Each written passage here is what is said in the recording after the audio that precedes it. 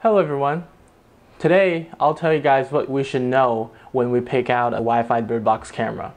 Well, we know that the bird box camera helped us to get a closer look at the birds when they're inside the birdhouse. And a Wi-Fi bird box camera has the ability to, you know, record the recordings as a digital signal, and then we can access them with any kind of digital device.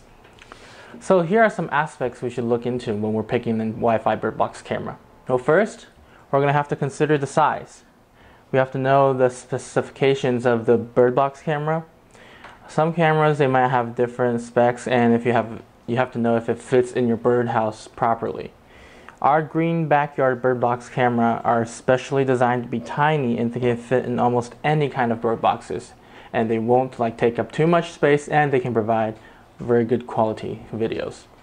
Next, let's take a look at the Wi-Fi signal. The Wi-Fi signal is very important when we're using a Wi-Fi device like the Wi-Fi BirdBox camera. And how should we check the Wi-Fi uh, signal in our house or wherever we live? Well, we can just easily use our mobile phone or smartphone and walk to the place we want to set up the BirdBox camera. And then we just took a look at our phone's Wi-Fi reception. The Wi-Fi reception on our phone, if it's very strong, then this place is perfect for setting up the BirdBox camera. If it's weak, we can use a PLC adapter to enhance our Wi-Fi signal so that we can still get a good connection where we want to set up the BirdBox camera.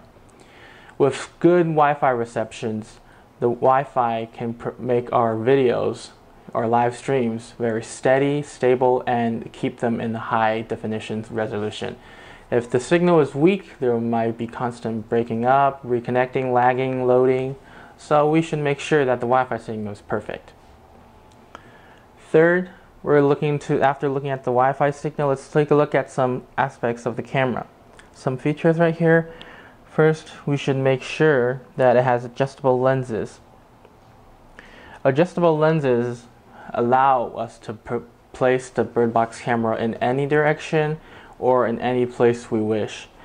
Every time we change a direction, we can just use, you know, to adjust the lens with our, of our hands and try to get the cl uh, clear if you get like a fixed fixed lens camera, then once you like change the position, change the distance of the focal length, the image will be blurry and you can't really adjust it anymore. Then it's the infrared LED lights. The infrared LED can provide us clear image even if it's dark around, and we know that some birds, they kind of are more active during night. In this case, the infrared will help us take get a clear look at the birds. So and the infrared our box camera used are we use a special wavelength. So this wavelength, the infrared will not like appear as a red dot when it's dark inside. It will be hardly visible. We should also know, you know, because uh, everything is able to reach high definition resolution now, like 1080p. So at least we should request our camera to have this kind of resolution.